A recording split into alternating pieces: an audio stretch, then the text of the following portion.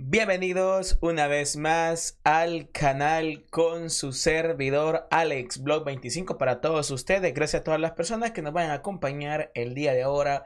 Es el mayor de los placeres tenerlos por acá. Bueno, datos interesantes los que han sucedido el día de ayer por la noche, ya que pues eh, Milena Mayorga y el diputado William Soriano pues están en el Congreso de los Estados Unidos y pues han andado pues haciendo unas vueltas. Hace días pues Exactamente, pues a su servidor pues le decían que era un fanático. Estaba leyendo los comentarios que tenemos por ahí, comentarios que yo digo, hey, ¿qué estará pasando con este tipo de situaciones? Ya que pues nosotros estábamos viendo que el diputado pues Ernesto Castro se estaba reuniendo con lo que es la señora pues encargada de negocios en El Salvador. nosotros decíamos, pero ¿qué estará pasando?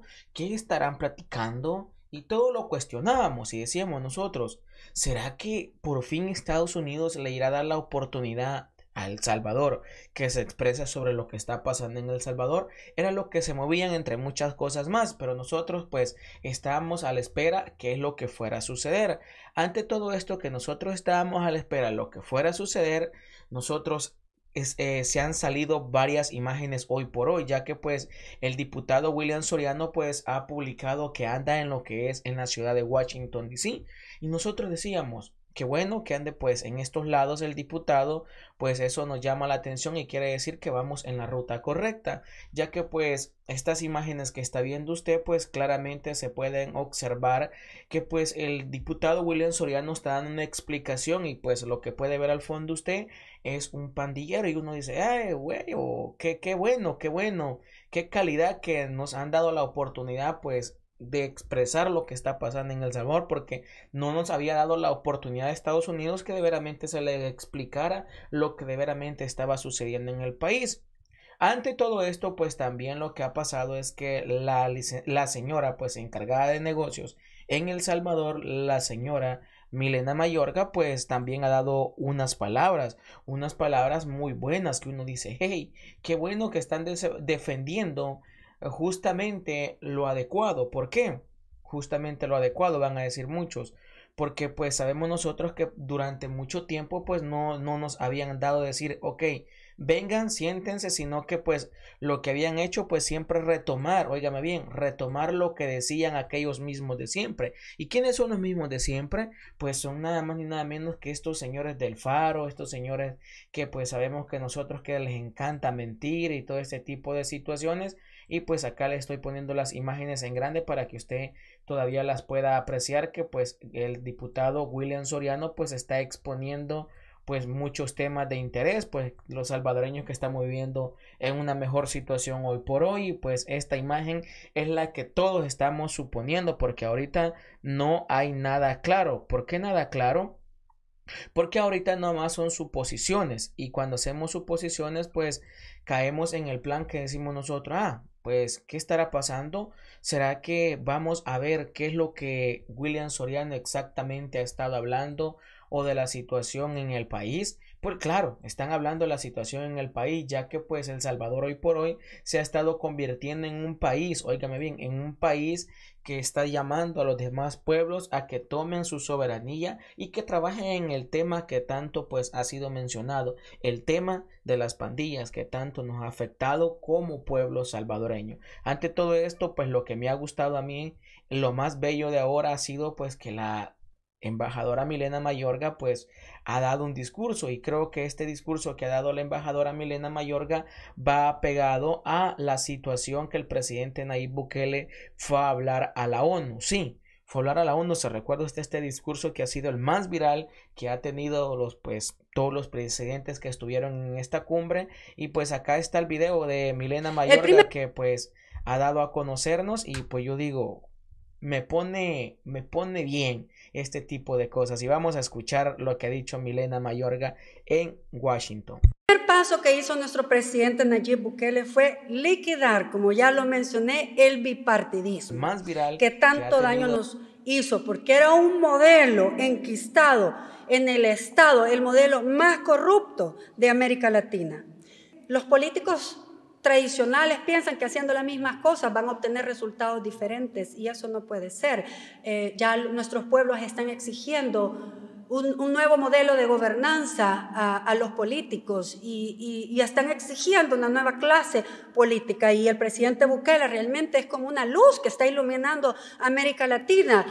Entre la guerrilla, las pandillas, asesinaron más de 250 mil personas en El Salvador. Emigraron más de 3 millones de salvadoreños. Fue una migración forzada, por eso hoy puedo hablar también de la libertad de movilidad. Los corruptos se llevaron más de 37 mil millones. Las pandillas extorsionaban con más de 1.100 millones por año. Si ustedes querían tener una empresa en El Salvador, tenían que tener destinado un presupuesto para pagar la extorsión o se moría usted y su familia. La Asamblea daba en cada presupuesto 279 millones a sus ONGs fachadas, no solamente para tener eh, dinero para sus campañas políticas o para embolsárselo, sino también para poder tener gobernabilidad.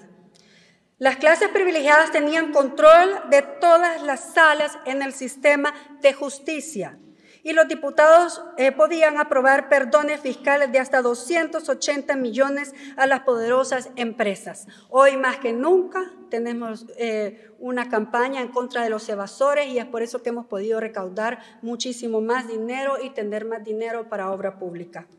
Ahora el Estado de El Salvador es libre y vengo a este otro país que es la cuna de la libertad en el mundo, a decirles que no estamos dispuestos a cambiar nuestra ruta.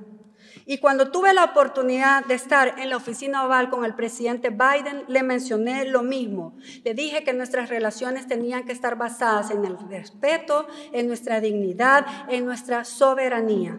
Y también quiero concluir con una frase que es muy poderosa, que el presidente Bukele menciona. Queremos hacer lo que ustedes hacen, no lo que ustedes dicen. Y este mensaje del país más pequeño Latinoamérica a los países más grandes y poderosos es claro. Queremos hacer lo que ustedes hacen, no lo que ustedes dicen. Y estamos nosotros en esta gran lucha por nuestra verdadera libertad, nuestra verdadera paz y nuestro verdadero progreso. Muchas gracias bonito, ¿verdad? Así tendrían que ser pues personas y yo vuelvo y lo repito, gracias a Dios eh, vimos que las reuniones que ha estado teniendo pues Ernesto Castro, el presidente de la Asamblea Legislativa con políticos de alto rango, está teniendo resultados porque hoy pues han dado la oportunidad de ir a decir las cosas al Senado de los Estados Unidos sobre lo que está pasando en nuestro país, El Salvador. Y esto me agrada mucho a mí. ¿Por qué? Porque quiere decir que pues están escuchando. Y muchos a mí me estuvieron llamando hasta de fanático, me estuvieron diciendo que yo estaba viendo cosas que no debían, me estaban diciendo que yo me estaba imaginando rollos que no debía, pero ahí está, como les digo, ahí están los resultados y es pues que han dado la oportunidad. Gracias a Dios que lo están escuchando del lado que tienen que escucharlo,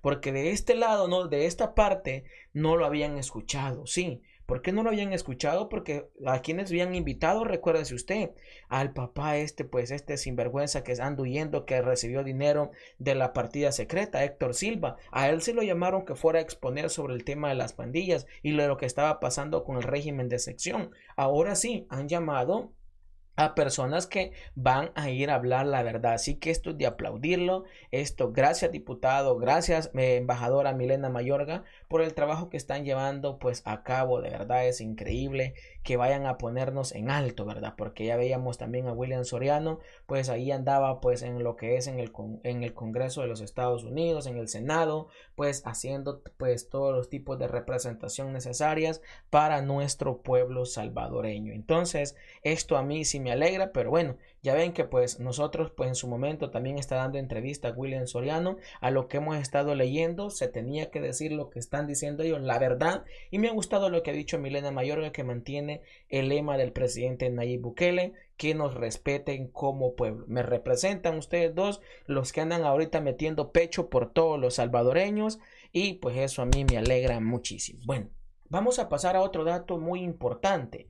Mire usted, los taxistas andan pues mañoseando, andan de ladrones estos señores, pero a este le fue mal, ¿por qué? Porque pues este señor, este señor que está viendo usted en pantalla ya fue capturado, gracias a Dios. Este señor se robó un tambo de gas, por el amor a Dios, un tambo de gas, y es un taxista que pues el señor andaba en su nave, vio mal puesto, mal parqueado un, un tambo de gas y dijo, bueno, hoy es mi momento de brillar y fue que acá, como está viendo este video usted, llega este señor en el carro, en el, en el donde anda haciendo sus viajes, donde anda haciendo, y se va a robar un tambo de gas. Mire por lo que se da a ver este tipo de gente, tal vez la gente pues rebuscándose, echando su, pues sus panes rellenos, eh, haciendo sus pupusitas o cualquier tipo de cosas, y puede ver usted, allá se va a bajar ahorita este taxista. Esto es un mañoso, pero la cámara ahí está enfocándolo, guáchelo, guáchelo, mírelo. Ya a ver usted ahí lo que sucede. Vamos a verlo allá, mire. Allá abre. Abre. Ahí va, mire. Mira, se vuelve ahí el tambo de gas, ¿ve? Allá se lo robó el tambo de gas. Quiero que veamos, porque hay que verlo aquí, mire. Mire, allá viene. Se baja. Lo bueno que es inteligente, mire. Primero abre la puerta de este lado, mire. La abre, mire. Si puede ver usted, abre primero la puerta esa. Mire, mire.